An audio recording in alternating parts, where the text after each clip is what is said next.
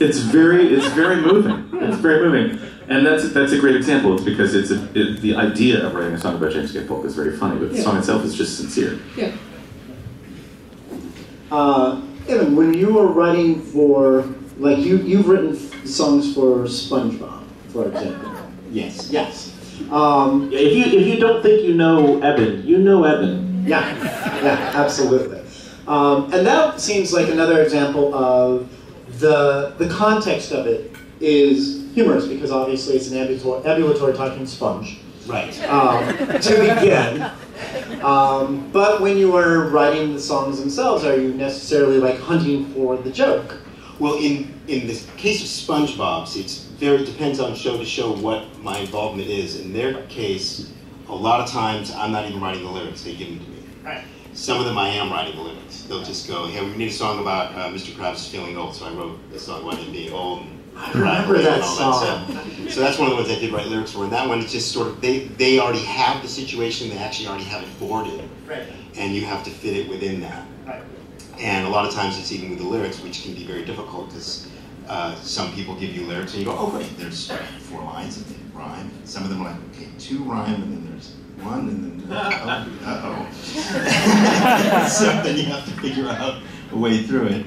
Um, so it really depends on what your sort of assignment is, how far you're reaching for jokes. SpongeBob, in, that in that particular show, I don't have that much freedom in terms of what I'm not really coming up with a joke in terms of it's already forwarded and I'm either elaborating. But um, I did a show called Drawn Together, and that was one where they kind of let me just go. No kidding. They Wow. Thank you. you have guts applauding the most offensive show on television. Uh, and I, I guess I have guts admitting I wrote all those songs and lyrics and tapped into that punk rock idiot. And. And on that one, they, they asked me when I first got it, do you want to write lyrics or I, and I do both ways, whatever you guys want. They go, why don't you write a couple and we'll see. So um, I wrote, uh, they had a couple lyrics started for uh, uh, Black Chick's Tongue. And, uh, and another song, they, they we just need a, a peppy tune uh, in this episode that has a monster vagina. So I wrote a song called La La La La Labia. so okay, you can write lyrics. And so just so there it was it was uh, it was a matter of just being silly and obnoxious and tapping into that punk rock sense and trying to make the guys laugh, which was really fun too. Just that's that was kind of a rare circumstance for me where there was less filters of. I just kind of let them deal with any network issue. they were doing it so much anyway. They were pushing it on so many other things. I figured, well, how bad could I be? All right, song called Shit Sandwich. Go ahead. See if that floats. So you'd be like, here's your song, your problem now. Yeah, that one they actually wrote back an email that just said shit sandwich question mark shit sandwich and they kept it I think as long as then it actually got cut not for content. Just didn't have time for Yeah, it. yeah. So you could like release that as a single. Yeah. I think it's on there. They did put out a CD of that. And such a comedy show. It was a little. Uh, they, the guys were always talking to me about, oh, we'll put this all out as an album. So I was like, let me know, because some of these should be remixed and fixed, because you know it's a really quick schedule. And then of course the way stuff goes with, with corporate world, and let's get it going now. It was like it was done before I even knew what. Oh, that shouldn't have. Oh, there was stuff that should have been cut together, and there's a lot of little things that it is what it is. But, uh, Paul and Storm, over on the end, you guys also uh, wrote a, a raft of songs uh, for your YouTube series. Um, and let's talk about. That's about the right amount of applause given the views. Let's talk a little bit about the writing the song specifically in the context of, uh, of an episode. Well, that was really a stretch. It, uh, the series Learning Town was a music comedy web series. Look it up. It's real good. Also, who's here? I would have to shout out uh, written uh, the script written by our friend Josh Kagan. You hear Josh? So it was actually a bit of a stretch for us. We're accustomed to writing joke songs, songs that are designed to get the laugh, and that's pretty much what they do. Um, some of them have a little more emotional content, and with Learning Town, uh, it was more difficult because we were trying to get a laugh and also have them serve the purpose of the plot. So it wasn't just going for a joke, and it was within the context of the show, which in a lot of ways makes it easier. Edwin was talking about if you're given the lyrics or a prompt that then um, that that you or other people have agreed is funny, then then it's okay, go, you go with it. And so in that way, I kind of found that was more fun in some ways, where you weren't sitting over your keyboard thinking, "Come on, think of a funny idea." Uh, that it was already there, and it was just a matter of carving it out of the block of granite. It's definitely granite. What he said. Maybe marble. Sometimes it was marble. Sometimes it was marble, sometimes it was granite.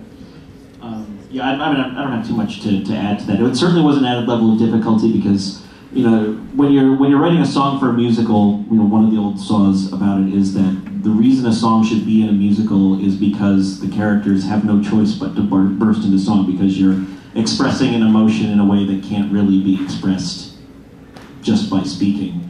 Uh, and while we were both fans of musicals, we had no real experience writing that. And it was a very steep learning curve trying to find songs that could A, be funny and interesting, B, somehow move the plot forward, or if they're not doing that, at least C, doing that expressing of an emotion in a musical form and in an effective way. Uh, and it was hard. And oh, and also, it's got to be short because every episode is no more than eight minutes long. Which, as it turns out, was about five minutes too long.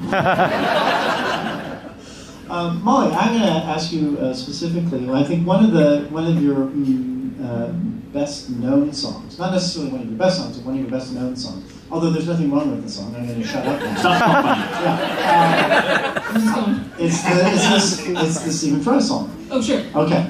Um, it's okay.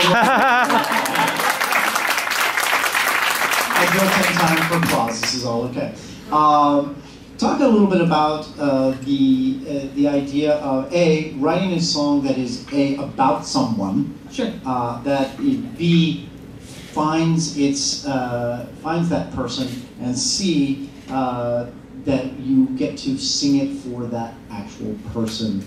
Sure. Um, well, that song it came about because I well, there's this whole story. I was um, dating a guy at the time who was, you know, sort of had his own opinions about what I could do with myself. And at some point, I was like pushing that boundary one day, and I was like, "What if we had like a friend who couldn't could, like conceive a child? Could I have their baby?" And he was like, "No, that's weird." And I went, "What if it was like a gay couple that couldn't have a baby?" And he was like, "No, that's not good either." And I went, "What if it was Stephen Fry?" And he went, "Yes." you would have to do that. and we ended up we ended up breaking up, and I was like, you know what I'm gonna do? I'm gonna proposition Stephen Fry, jerk. And so. And so I, I wrote this song, and the song's called An Open Letter to Stephen Fry, and I structured it to be as much like a letter as possible. You know, there's sort of an opening paragraph about, like, listen, so here's your deal. I have an idea. Uh, I have a proposition for you. And it sort of try, I tried to develop the idea in sort of paragraph forms, as you would in a letter. And ultimately, that letter got delivered to him. Um, because I, I was workshopping it like actively at Woodstock, and the song developed over a series of Woodstocks, and it got passed on to him somehow. Got passed on to some people at Harvard who were like, "Hey, uh, we're having Stephen Fry over next week, uh, so if you can get yourself to Boston, you could play it for him, and that would be pretty great." And I went, "Yes, okay, I will do that." Um, and were it not for the muscle memory of playing that song at Woodstock so many times, I would have just barfed. I wouldn't have gotten through it.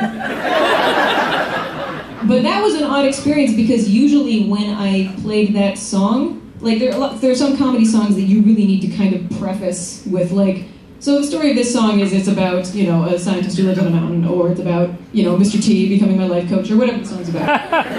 and in this one show where I was singing to Stephen Fry at this award ceremony, I couldn't necessarily take the audience into my consideration. Like for the one time that I've ever played that song, I had to address it directly to the person it was about and it completely threw off my, my mojo because I'm used to being like, hey, who knows who Stephen Fry is? And in a room of people celebrating him, obviously that kind of goes without saying.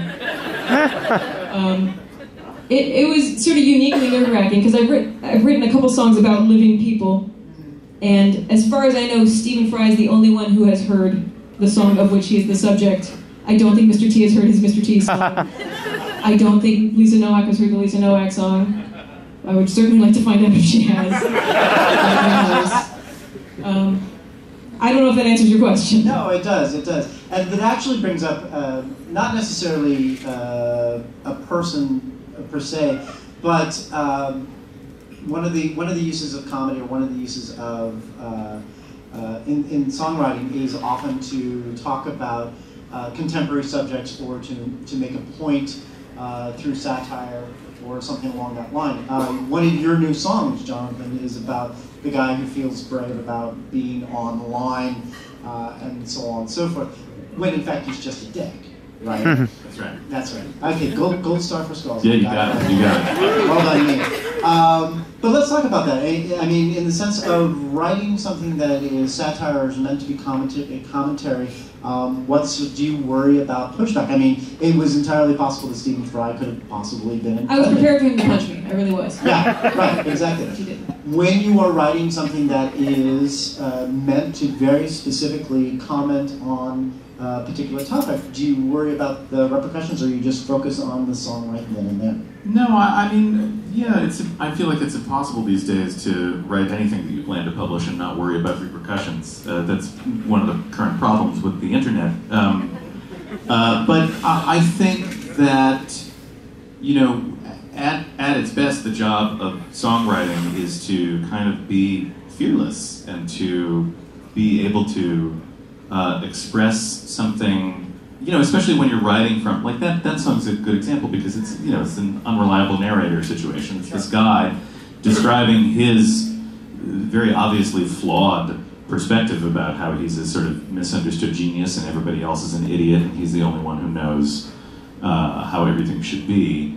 Uh, and yet he's also he's also terrified and self-loathing and realizes that he's he's uh, talking himself into a life of loneliness and and but you know that's the that's the power of that kind of song is that it's uh, you're taking the perspective of this character who is a flawed person.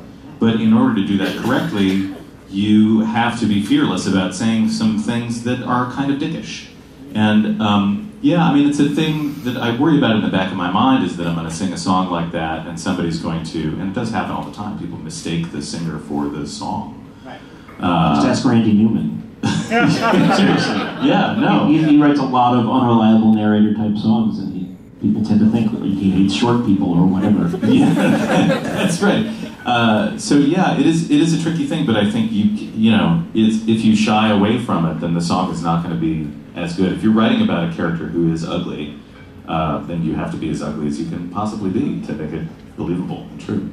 Well, I think with, with comedy and any kind of storytelling too, like I saw, there's this um, interview I saw with Stephen Sondheim where they were saying like, oh well, you're a poet of sorts, and he went, no, I'm not. I'm a lyricist, and there's a difference because with a poem you kind of expect that people will, you know, they'll kind of walk themselves through it. They'll read back over bits they didn't understand. And if you're going to tell a story or try and convey an idea through poetry, you have to kind of let the, the reader go on their own journey. But with lyric, you have control over the order in which they process the ideas, and you need to build in time for them to sort of reflect on certain larger ideas. And that services like that kind of story, like unreliable narrative storytelling really well, and it serves comedy really well. Like you couldn't really, I know people write comedy poems, that's totally a thing, but you can sort of uniquely get the drop on people when you write funny songs. Like I feel like dropped rhymes don't work in poems because you go, oh, she she didn't rhyme, she rhymed something with crotch, but it seemed like she was going to rhyme with another word. You know, like you can build in like comedy's all about timing, and lyrics allow you to play with that timing so much. Does the uh, uh, musician and lyricist of Shit Sandwich have anything to add to this particular discussion? Well, I think there is the whole other element too. That you know, there is the lyrical element, yeah. where I, I may be making it stray a little bit, but the musical element itself can be funny too. Yeah, absolutely. And so, um, but I'm kind of straying from the whole. No, no, um, expand, expand, expand. The, okay, okay. Because um, yeah, a lot of times when I'm giving lyrics, of course, I don't get to contribute to that, and how can I support it musically? And but that affects the timing and and and all of those things, the rhythm of it. There are ways to make a, a lyric that in itself may not even be that funny, and then it becomes really silly if you do some musical twist on it. Um, I was just working on a thing the week before coming here, where uh, it's a Hall Oates song that's like supposed to be a long lost Hall Oates song for a thing. I can't name what it is, but um, but one stupid thing in the in the thing is this little hand clap that keeps happening, and it just started making us laugh more and more. It's like the hook of the song. Is this hand claps it has nothing to do with the lyrics or anything else. So it's just an example of how the music itself can be funny, and it's and it's actually a very important element, um, depending on what type of music it is. I mean, when you're doing if you're if the song is just you and a guitar or whatever, that's that's one way. But when you're producing it, when it's going to be something that's got arrangement, um, like one thing I learned a lot. I was working with Garfunkel and Oates a lot. Um, I don't write for them, but I arrange for them and, and produce some of their stuff. And um, one thing we would stumble on is uh, a lot of times you get a great melodic idea in the arrangement, and it can distract from the lyric and be like, "Ah, that sounds great." And it's again getting back to your very original thing of, is it a good song and then it's funny? There's a lot of stuff that makes a really great song, and if, and if the song we were working on wasn't supposed to be funny, you'd put that part in because it's cool. But then when it's in there, you're kind of like your your focus is taken off of the lyric, and you want to get that rhythm. You want to get that. You set it up a, a way, and then that rhyme switch happens or whatever. And if you distract the focus from that, that can be a, that makes it less funny. So you're talking, you're basically talking about editing. Yeah, it's it's editing and just having your arrangement is servicing the comedy of it. If it's strictly a comedy song, kind of getting back to something you said earlier, there is a thing too of there's full-on comedy songs in the comedy section of the store. You know what I mean? And then there's songs that are funny that are like on somebody's album that are funny that are, it's not in a comedy context. So I'm talking about the ones that are really like this is all about it has to be super funny, and that's the main purpose of this song. So in that case, your your actual surrounding music has to cater to that, and you have a lot of uh, things you can tricks and fun that you can pull in, in that regard as well. Well, Go ahead. Yeah, if I can build on it, I, all of that evidence is so spot on. It's sort of like what you're saying about uh, Ginger Rogers and Fred Astaire, but it's that comedy, that written comedy or com- comedy poetry, whatever type, has its type of rhythms, and music has its type of rhythms, but the space where the two overlap is actually very small. So that's what's hard. So we might, more often than not, we write songs from the funny idea or a funny lyric, and very rarely from a piece of music that becomes funny. There's just a very specific set that can serve both things. Well, one of the things that I thought was, oh, go ahead, you because you clearly had a thought. Oh no, because I, I know I imagine you guys too. Like, do you place jokes in songs where you know there will be a break for people to laugh so they don't step on the next joke? Yes. Yeah, Yeah. it's everything. Timing's everything. Timing is everything.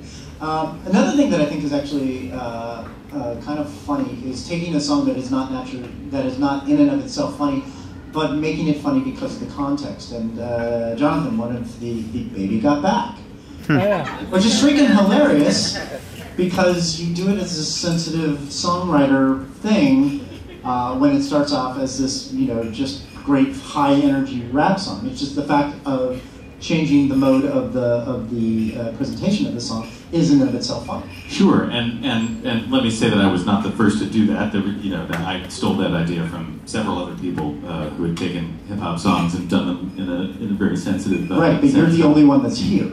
No, that's true. Uh, and and I will say that the, I'll credit my, my wife Christine for uh, for uh, making me cover that song. She's always yelling at me to cover this song or that song. Um, and this time she was absolutely right. She's never been right again, but that was the time. that was the time when she was absolutely right. And and what what convinced me was that I, I had never really listened to the song all that closely before, but she she somehow knew all knew all the lyrics.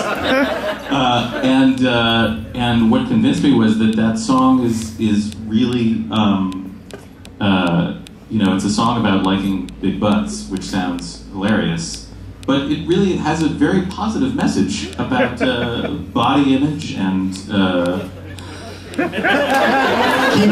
know it sounds it sounds like I'm being facetious, but I'm not. And so I think one of the for me one of the reasons that song worked as a genre bending cover is that the making it a, a sensitive white guy, folky white guy, singing about it uh, in this really heartfelt way, to me, pulls that message out uh, and makes it a lot more plain than it was for me when I was listening to it, uh, you know, on, on the radio, driving to the beach or whatever. It, it's it, and so something about something about the intersection of that really heartfelt uh, and and touching sentiment um, and and this sensitive, croony, uh, folky white guy.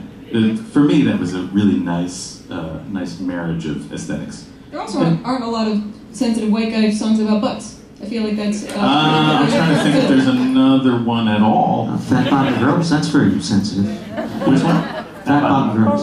Uh, The, We're wandering. actually. the other That's thing, kind of, that's kind of that if. I can, um, if I can build on that, the other thing that makes that song so effective for me, and, and what seems to be one of Jonathan's superpowers uh, when it comes to writing funny songs that are great, is because the, Funny songs that are great. but you know, you get the con- and this goes, I think, for any comedy song. Uh, for me, is the joke is there, the juxtaposition. Like the source of any humor is just here's this unexpected thing, and okay, that was you know that was some surprise, that was funny, that was great. The jokes in a comedy song generally hold up a couple of listens through, and if there's nothing else behind it, it's going to lose effectiveness quickly. And uh, Baby Got Back, and every damn song that Jonathan writes, whether or not it's funny, it's a really good song. Like Baby Got Back is, it's beyond just the setting that's you know fun, folky white guy. It's a beautiful melody. It's a wonderful arrangement of that song, and that's the thing we certainly always strive for when we're trying to write songs. Is we want it to be funny, but more than that, we want it to be a good song because it's got to stand up to repeat listenability. Yeah. Um, that's for, for us what makes it really effective. And then it's great when it's funny on top of that, but it is just as important, if not more important to us, that it be, be flat out a good song. Whatever that means, you know, it's pretty, it's effective, it grabs people, it, it speaks emotionally, just the, the melody and, and the arrangement and whatever is underneath it. And I will say that, uh, thank, first of all, thank you, that's very kind. And I think you guys, all, everybody here does a great job of actually writing songs when you're also writing a comedy song. And a, a pet peeve of mine is the, I mean, congratulations to all of us, high fives all around. Yeah, yeah. yeah. But a pet peeve of mine is is uh, a comedy song where it's clear that somebody had the had the joke, had the funny idea, and started to write a comedy song, and didn't actually get to the point of writing a song. It drives me nuts because it just it just it doesn't get there. It doesn't it doesn't ever land. All you have is the all you have is the joke, and as you said, the joke doesn't play more than a couple of times. And the, the real the real power of comedy songwriting is in the song part. And if you can accomplish that, then you've made something that is really complete and it's going to last and it's going to work on multiple levels. And it's, it's so much greater than just telling a joke. I actually, I actually think this is why uh, "Clever Girl" by the Double Clicks is the perfect comedy song because it knows exactly how much song it needs to accomplish Oh, its joke and it bounces yes. the hell out. It's amazing. That's right. Yeah, Really skillfully executed. I'm going to ask them one more question, and they'll let them uh, go back and forth, and then we will open up to questions for, for you folks. Uh, remind